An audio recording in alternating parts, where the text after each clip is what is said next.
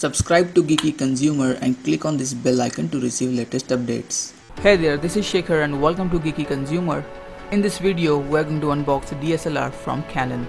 So without further ado, let's get started.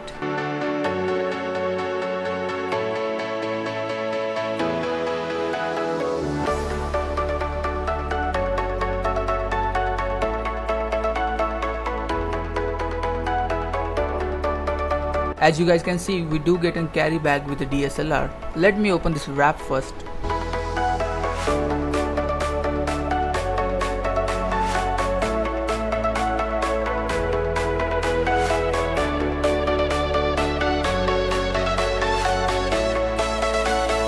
Okay, so quality of carry bag is good and space is decent to keep camera with two lens. Moving to the camera box, the model is EOS 1300D and the price is mentioned on the box is 41,185 rupees although I bought this for 32,800 rupees from Flipkart. The highlighted feature is Wi-Fi NFC support which we get with this particular model. Also we get free 16GB memory card inside the box. So let's open this box up and see what stuff we get in here.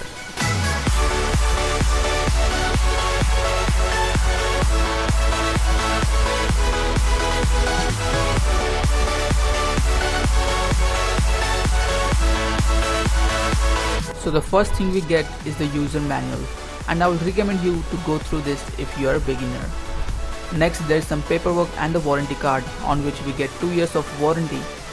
Moving to accessories we get strap, then there is a power cord for charger, then there is charger on which two LEDs are there indicating full and charging mode. Then there is battery of 860 mAh. I don't know if you can see it.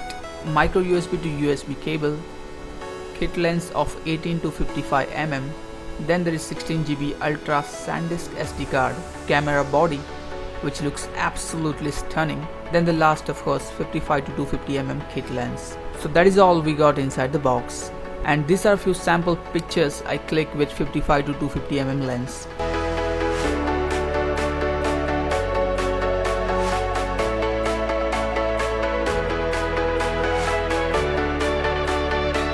I hope you like this video.